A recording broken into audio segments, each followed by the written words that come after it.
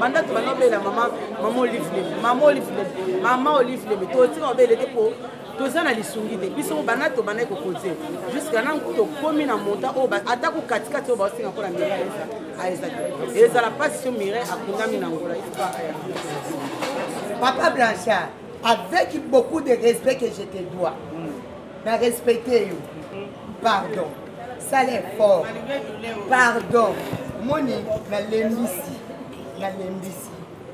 sala nde mobali asalaka parce que biso tokokota makambo ya ngola te mpo biso toza na charge ebele awa bamakambo ebele ebele bango donc que la famille ne donne pas l'impression que bazozela baartiste batrouve solution alo bango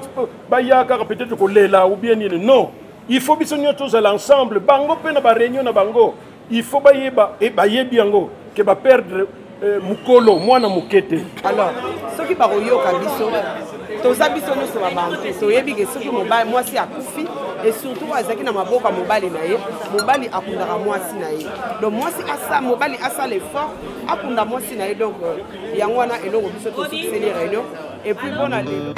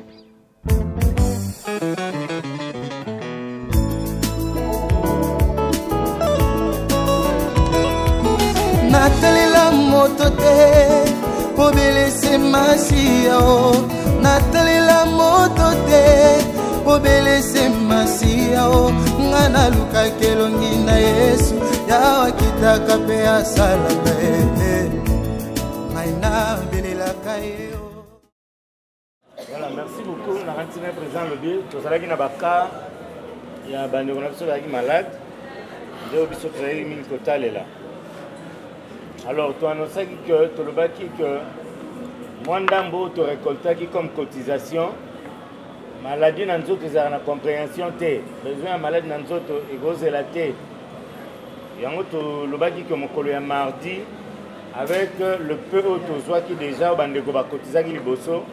tokende kotala nango bandeko na biso bamalade euh, oyo bazalaki interne alors du fait que na collecte oyo tosalaki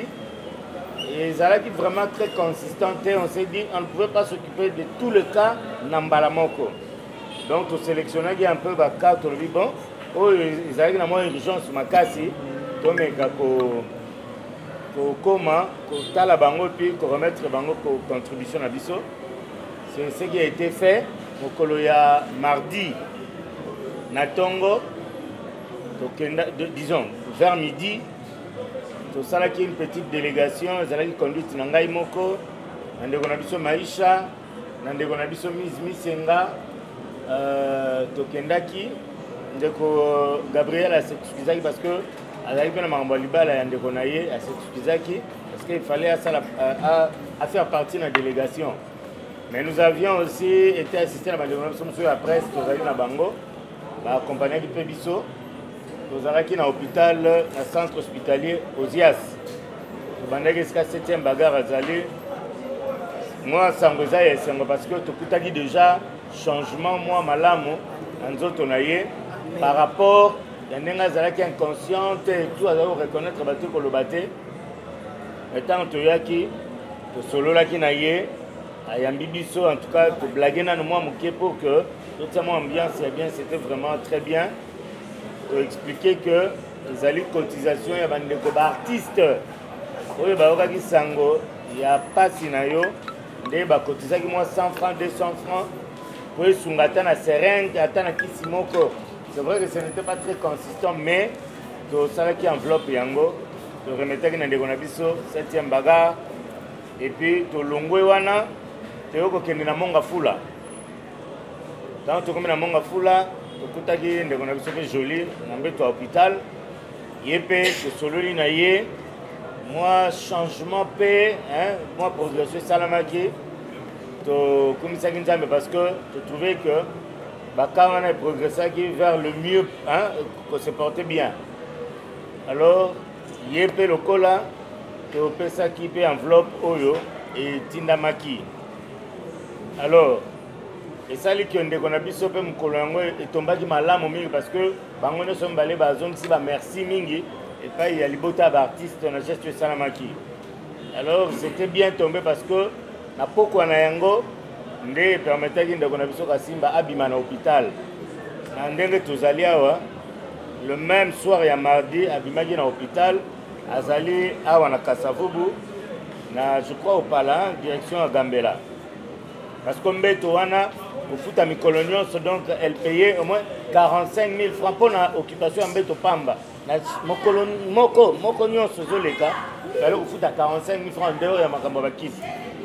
alors tosololaki na ye mpe en tout cas ezalaki très très grave en tout cas ndenge tosololaki baka ezalaki très grave mais esalaki que topesaki bango mpe lisungi alors na mbongo tozwaki mpe tokabolaki susu mpo na papa gode enveloppe ya papa gode mpe ezali mais eloko esalaki que mokolo yango omoni distance ya kapela monga fula et tout on avait connu mwa bambouteillage et puis tozwaki mwa problème moke ya motuka na nzela euh, radiateur na ngai tobokaki ekomi kotangisaka bamai ezochauffe je me suis dit bon comme tosi tobundi mpo na bandeko tozonga tobongisa motuka pourquoi tokende en principe totala mpe papa godet alors papa godet tosalaki programme normalement efale lelo tozala na clinique universitaire Mais tosolaki na CG ayebisi biso bon kokoma na clinique universitaire faut prendre un rendez-vous ba, ba, ba visite ezali programmée alors tochargeaki ye asalela biso programmation asengela biso ndenge tokokoma kuna nakanisi lokola lelo tokomi te mais en tout cas mokolo ya lobi sûrement tokosala course wana po que tokende kotala papa gode totikela mpe enveloppe na ye toza nango nanu na maboko ti sikoyo tozalaki mpe na kaa ndeko na biso mai tozwi uh, bainformation ya ndeko mai ezali ke ye aza na hôpital te kaa na ye ezali très grave azali na ndako donc aza na ndako c'est par manque de moyen alors nde na ndeko tozwani contact na ye tosololi lobi na ntongo ba avant midi nakobunda nano nakóma ntina adresse na ye toluka parce que aza na numéro ya telefone te mais adresse azali na nsima ya marché ya liberté bayebi adresse ye bayebi ka ndako oui ye nde tosololi na ye toza en contact toza en contact na ye tokokutana na ye lobi na ntongo ba avant midi aconduire nga ti esika maye azali tokutana totala ce qu'on peut faire nde yango tolobaki cotisation tokati te parce que baka ezali nano bandeko bakotisaki nano te mpo baprometaki on se dit bon tomoni mwa bandeko mibale misato mpe bakotize lisusu tolobi na oyo bakotize wana tobongisa yango totala ndenge nini tokoki kosunga mpe ndeko na biso azwa le fils kisi parce que ye aza na ndako aza na hôpital te parce que makoki ezali te donc ka totikali nango so mibale yango wana programme ya kokende epai ya papa gode ya enveloppe na ye ezali to tokende kokutana na ye mais tozozela bapesa biso suite ya euh, rendez-vous oyo bakoya corrige biso mpo na entrée mpe lobi tokoyeba suite ya ndeko mai parce que na ntongo tokokoma nanu kuna donc voilà en général mwa kotambola tosalaki deja na mwa misolo oyo bandeko bandimaki kotia donc en résumé voilà la situation ya bandeko na biso baza malade je crois que toza kaka na ligne ndenge totrasaki mpo tomeka kolandela badossier yango mpo na nani gode euh, makambo ya rendez-vous eza te moi je suis allé là-bas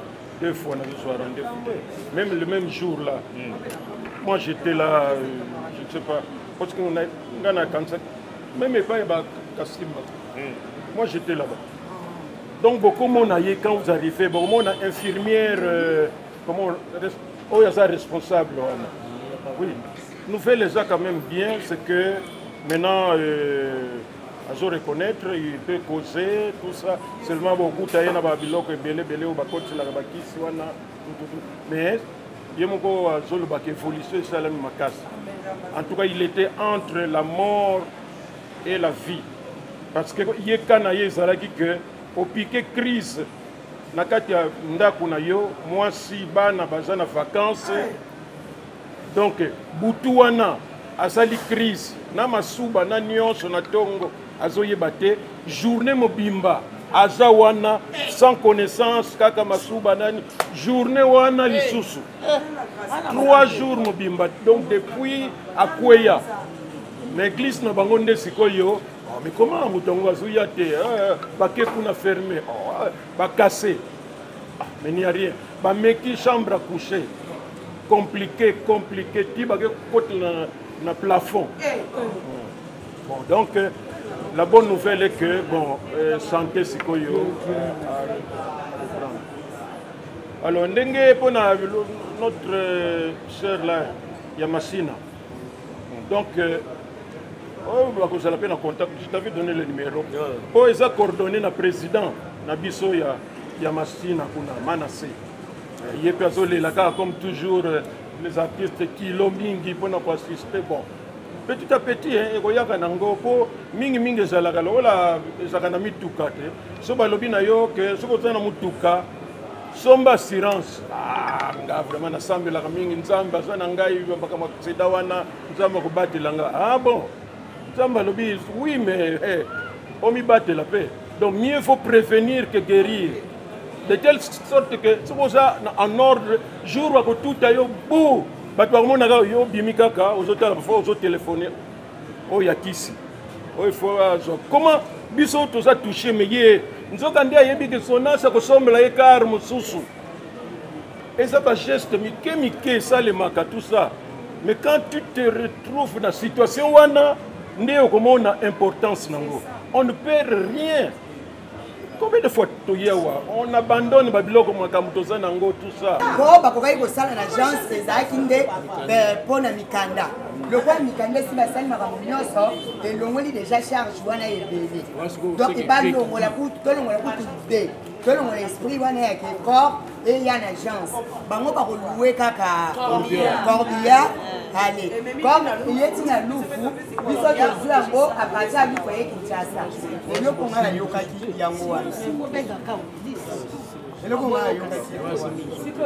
donc eza koya bango sikoyo balobi fo bakosomba cercueil kosomba cercueil na kolue corbia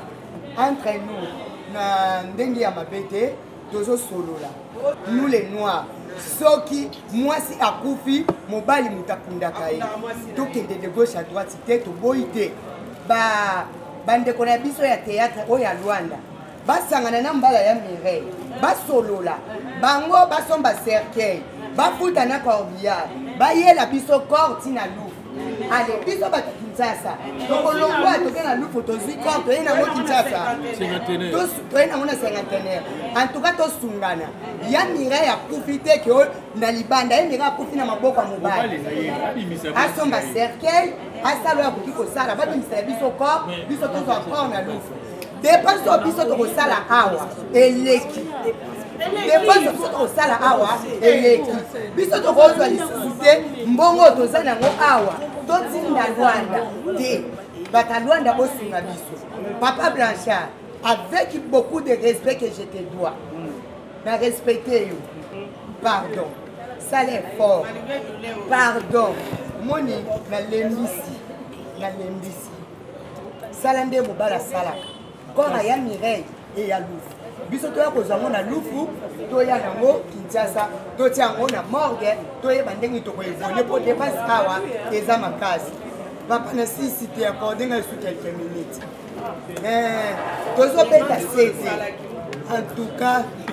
na olemba bino te bolemba biso te pardon ezosenga lisungi mpo funéraille nyonso eleka bien ezosenga lisungi bapapa na biso baproducteur na bande lisu leo kotanga nkombo papa jimu mukelenge papa egide de fer papa titi kalu papa alfa bokole major bisadidi major bisadidi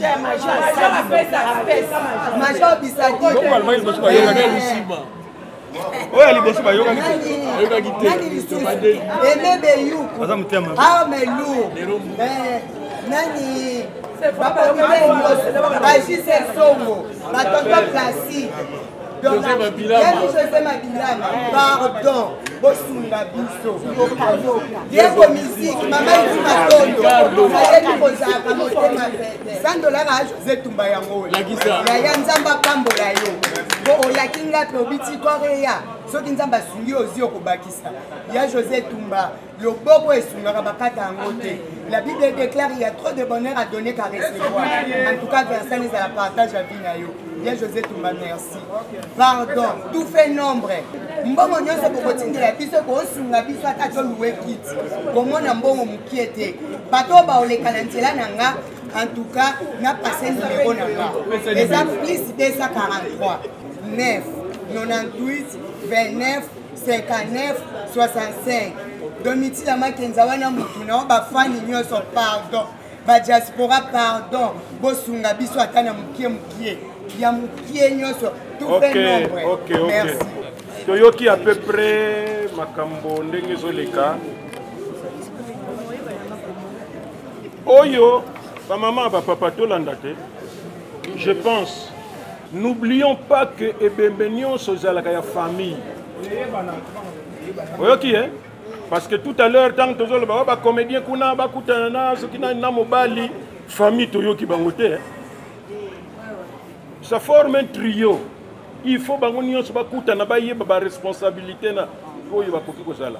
nango atako soki bacomédien bakopesaka mwami mais elembo ya famille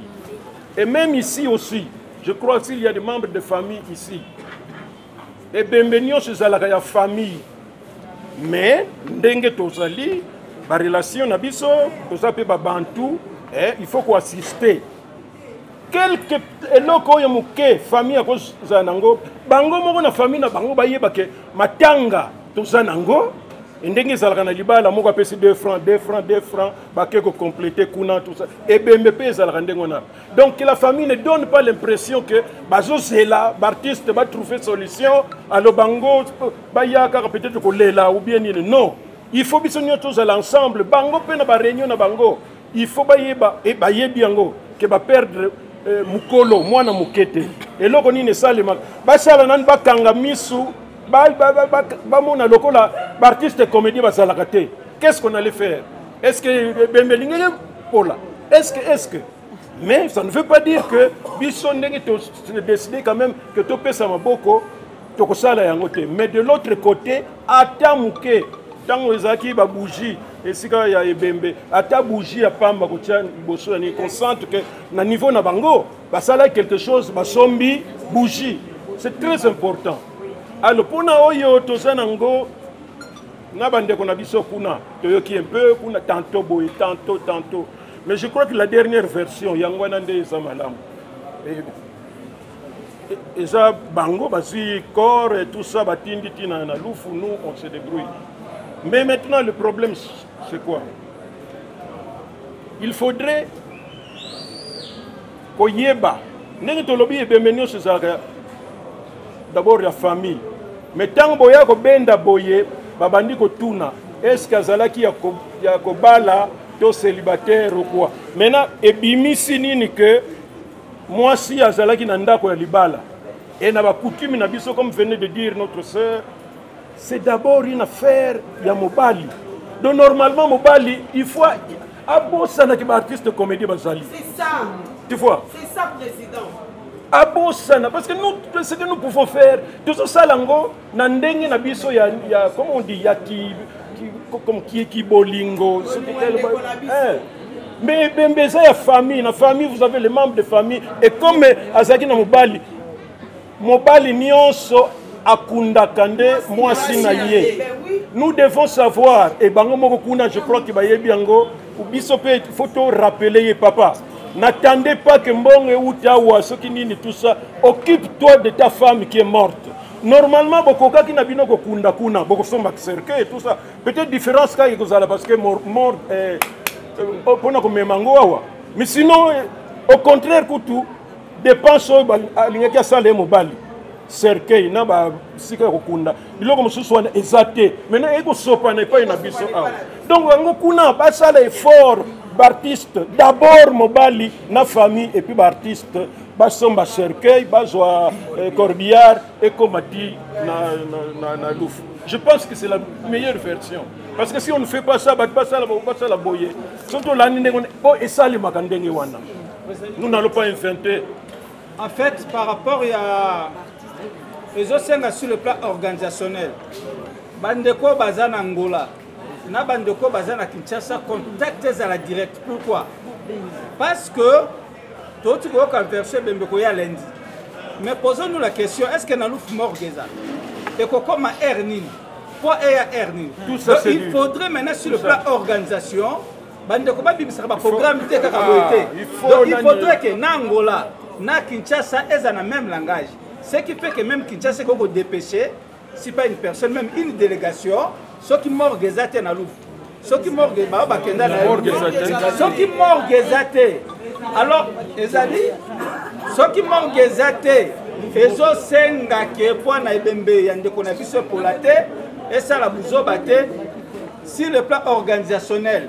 bapesaka timing timing kuna bango balongwe kote oyo mpe longweekokoma eh, lalusu na ngonga boye oyo ya biso eza kozwa yango mbala moko eza koya koto parce que même le véhicule qui doit quitter ici pour aller chercher le corps mm. il faut koyeba programme justement ke kuna ndenge bakolongwa na ba 17 heures bakokoma na 5 heures du matin ou 6 heures biso awa pour ke tokoma na ba 5 heures kuna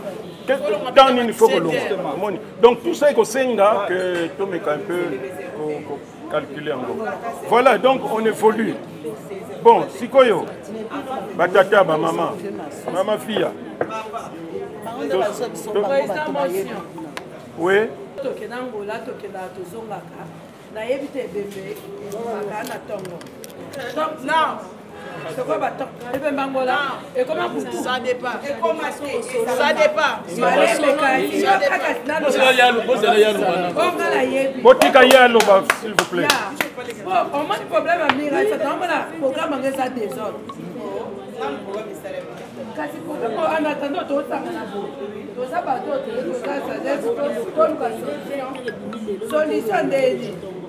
neti ebembe soki balobi tolongwa biso e, elongwa ba 4 heures seke na lufa ekokoma 16 heures soki eza jip ekokoma mpe 15 heures soki tosalaki deja te projet eza soki ebembe boye ekolongwa nde na butu pourkoi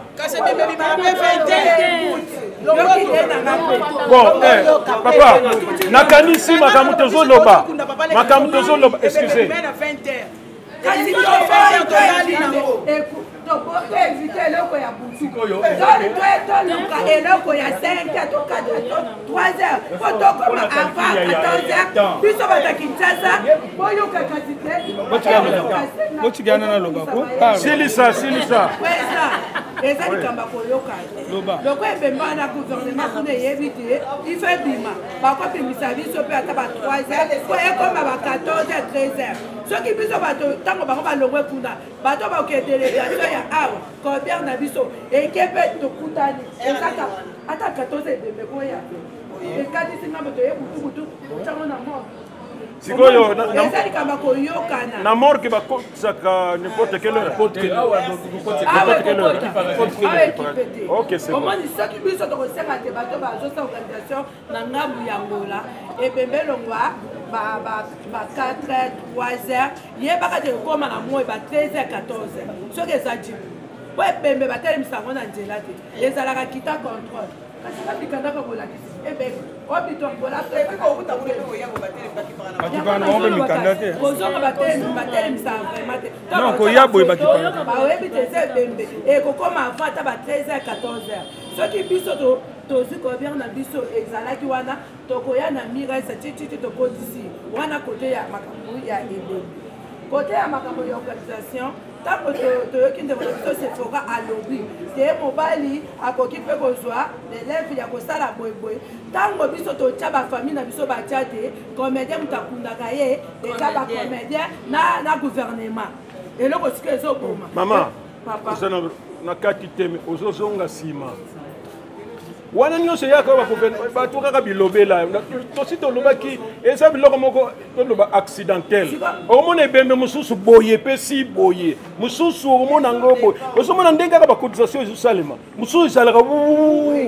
mosusu donc ça dépend tolanda te biso moko tosorganize soki intervention ezali soki nazoloba mpo msu toza ngolio kosola na bato ya lwanda parce que ba msusu mobali banda kala oyo nyonso tobanda kotaka koma mobali te tozwi nde sikoyo likanisi sikoyo sikoyo eza na bato mosusu oyo baza kuna bazolinga bakomede baza pembe na mobali te mpo batuna ye makambo oyo biso tozwi oyo tozo raisonne te yo azakufaki na maboko na yo zwa leleve te ata na makanisi na ye moko akoloba te mwasi oyo akufi na maboko na nga comedien moko te sikoyo nasani honneur asuka napesa mwasi na iso torapele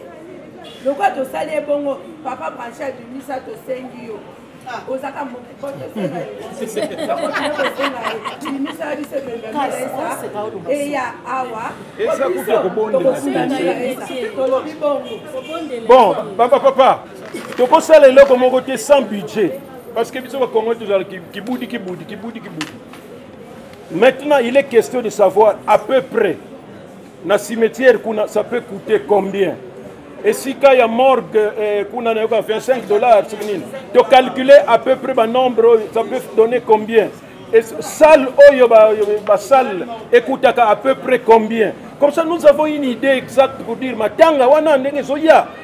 nous devons avoir ne fût-ce que soki 7000 soki 3000 sinon tobanda koloba kaka wawawawawawawa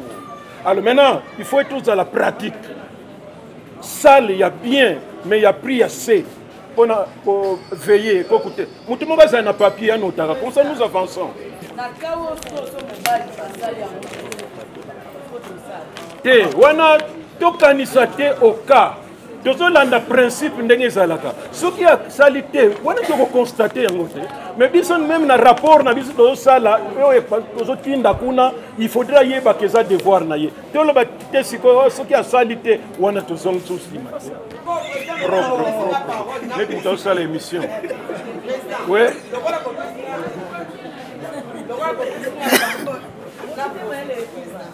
oui ngai na likanisi na ngai namonaki bango na angola basunga biso eza proposition ndenge kaka mosusu namoye tozonga tozima eza te mais mpo na heure ya koya ya port eya port soki elobi elongwa butu kuna ekosala biso bien bakokobimisa yango na 20 heures 20 heures wana baye malembe malembe 6 heures bakokoma lufu bongo 5 heures bakokoma lufu alors biso nzoto na mwa manevre oyo ezalaka wana 7h30 8h koro elongwe na lufu ti tokoma ba 14h koro ekokoma awa n'est-ce pas que toyambi nzoto bien epuis tokotisi yango abone uniforme na, na, na kati ya morgue epuis tozwi mpe ntan na biso ya kosolola nini tokosala nini tokobanda wana a partir ya wana tosala nini tozongisa nini mpo na nga soki alobi en plus lokwa toza na elanga na butu fraîcheur ezalaka makasi alors akotambola sans problème epuis biso kuna mpe tozwi ye toye na ye boye sans problème na heure moko ya bien butu butu na banzela na biso ya bongo central ngai nakendaka kuna mingi banzela na biso eza su malamu te mpo na butu mpo na butu il faut surtout se rendre compte na makambo nyonso nzela na biso na butu butu na ndenge ntango mosusu bacameraman mpe ba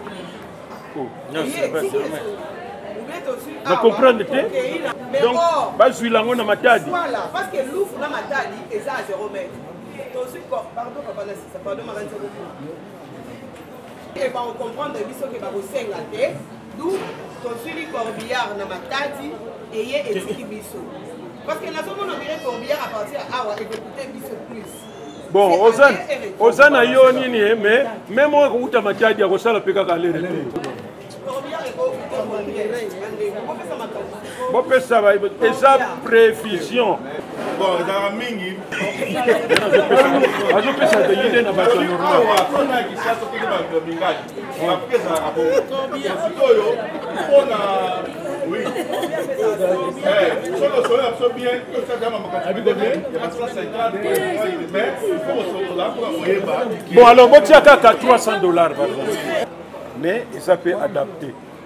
pour ne pas exagérer eko coûter combien faut faire le choix du cimetière d'abord ça dépend de la cimetière voilà mais biso to proposer wapi totiaka toujours na motu que nous n'avons pas beaucoup de moyens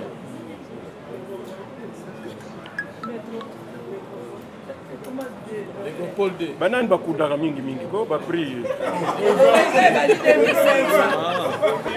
voilà donc euh, na réunion ya lelo eloko bokoki koretenir eza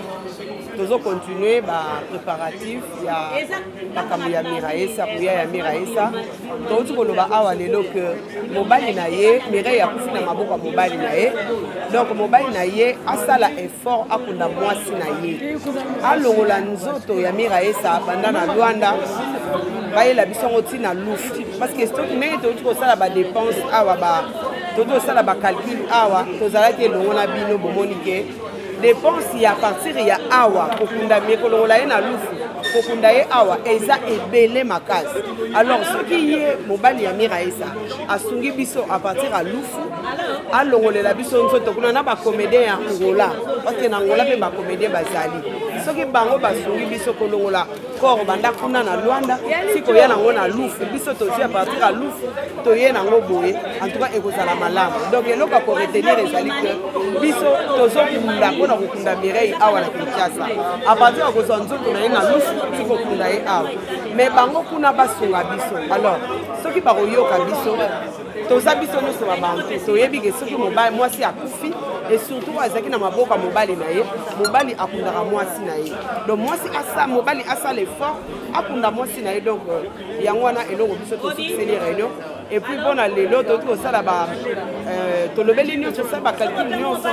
sikoyo etikali na biso réunion toa nango lundi tosobenga nanu lundi réunion toyoka decision ya suka ya bango parce que biso tozo communiquer bango à travers ba micro na bino à travers pe ba appel nde tokosolola na bango toyoka sikoyo point de vue na bango baza d'accord na biso soki c'est bon alors tokoyokana sikoyo ke mokolo boye à partir ya réunion ya lundi nde bokoyeba mokolo nini okora mireille ekolonga lwanda ekoya awa voilà. Bonsoir, bonsoir, bandeko balala na biso tozaka na matanga ya mira esa lelo troisième réunion oyo tosali a mpona programme ya mira esa ka nde bomoni na baimage ka nde boyoka eza masumu alobi na baoyo baza likolo na biso balobi biso tokosenga kaka na bafanatike ya biso bacomédien na bafane ya mira esa soki basimbami basunga mira esala bien toza boye tokufa kaka boye apo tobanzi oliyaka boye parce que mboka na biso atala mamu na biso te toloba toloba tolemba epi tokoma kofuteka na ndenge ezalaka ndenge mboka na biso donc euh, voilà toza na matanga tozala koka mireille euta ngola eya misi par rapport ya organisation omoni ndenge nini wa yango tolobi euh, etant ke Eh, mama maro aza oyo bayaya na biso basali mosala oyo bakokontinue toujours kosala biso toza baleki yango parole ezalaki epai ya yaya toza na mposa konegocie te ya koexplike mpe te ya kobondela eh, mpe bato te ya koconvaincre mpe bato te likambo matanga eza likambo babelela na yango motu nyonso te motema mawa oyo oza na yango so olingi osunga sunga kotala te peut-être gauche droite yo tala kaka ndeko oyo alali ndeko atiki biso mpasi oyo toza na yango donc eh, eza na explication te au fait président déjà masumu esi alobi nyonso biso toconclure kaka tolobi réunion mosusu ezali lisusu tozolukaka mbongo donc maloba eza awa eza kaka mbongo me sikoyo lider ya misi ozomona ndenge nini na mpo na koya ya port ya miraesa mpo na koya ya port ya miraesa me koya ya miraesa ya atanke ya congolais nani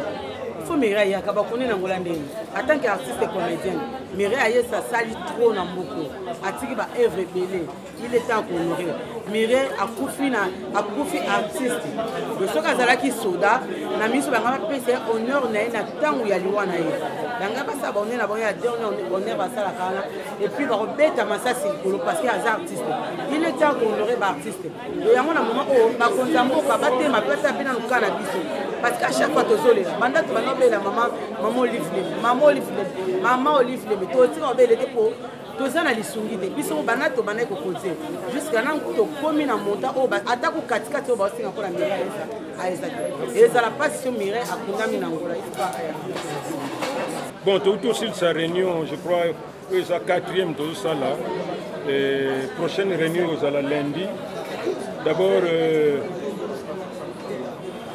On remercie les artistes oyo bazo se déranger pona koya parce qu'il faut dire que pona koya ba makambo boye il faut kozala na volonté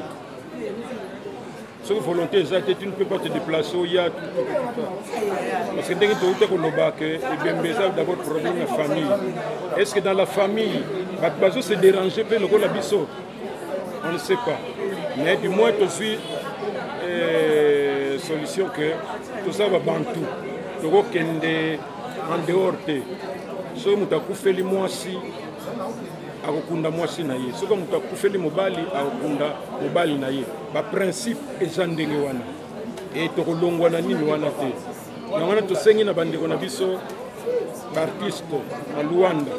bazala en contact permanent na mobali na famille mpo bayeba mobali azwi charge nini epuis oyo mosusu wana bango bacomplete parce que biso tokokota makambo ya ngola te mpo biso toza na charge ebele awa bamakambo ebele ebele bango babunda kaka corps ekoma na, na, na, na lufu et le reste nous tokoboma nzoto kotolo donc bandeko na biso kuna famille baartiste epuis mobali base mettre d'accord basombi cercueil baluki soki moyen transport nini wana bakontribue baye accord ntina na lufu biso tose charge ti awa epuis tosali matanga donc voilà un peu comment to s'organise toyokani awa tomeki un peu kocalcule biloko nyonso ya matanga parce que c'est bon de parler oh boye mbongo tout ça mais il faut budget à peu près ça peut coûter combien yango wana tokuti kocalcule awa tout ça inutile napesa bino makambo ya budget mpo etali bino te bino bozalaka sikoyo bokongo lobaloba mais du moins bato nyonso bakoki koaide biso ezala meme awa na kinshasa obien oza na poto mais oza na ndeko moko awa aza na salle okoki koyebisa ye batieli biso salle mpo na matanga ya, ya veille soki oyebi motu moko cedi que celui qui peut avoir une ouverture mpe occasion moko ya kokota na kati ya matanga mpo acontribue d'une manière ou d'une autre biso tokoboya te au contraire tozosouete yango To décider nanu te makambo euh, toza en contact na bango mpo baza na baformalité mpe mosusu ya kosala kuna et puis bon bokoyeba kaka bino bolandaka bato bokoyeba kaka nanga nauti france na kiti kakala nakotisi nano te na ndako komba mona ya okoki kotambola kosala c'est un ami c'est une amie alors c'est une amie kotambola politiaka moko mpe mokolo ndako moto asangisaka biso major bisalini ngai na bandi otravai na major bisalini na bor ezanga congo papa koba ke jesali azalaki moyindo azalaka mpe asona melodie diana bato azalaki ebele kululu bakombo otangaka bandeko batika biso wana mira esi azalaki te première pepie bisizote sela ntango nayaki bandeko bakutaki bango na kati ya nani ya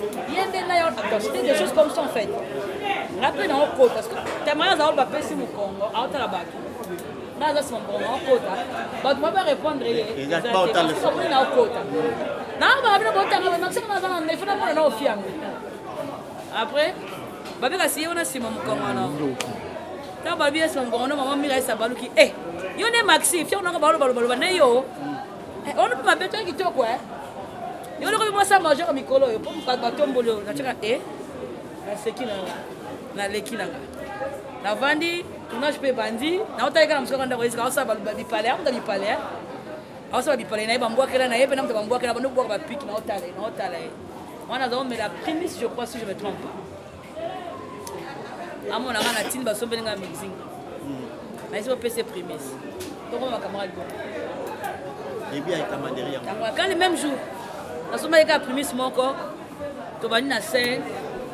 amoni na ojoue ntina ndenge atinga na ye poto tojoua na ye carrière nanga mobimba ntina suka na na filme moko te na joua te biraisebrai tokende pa major tobandi na pa major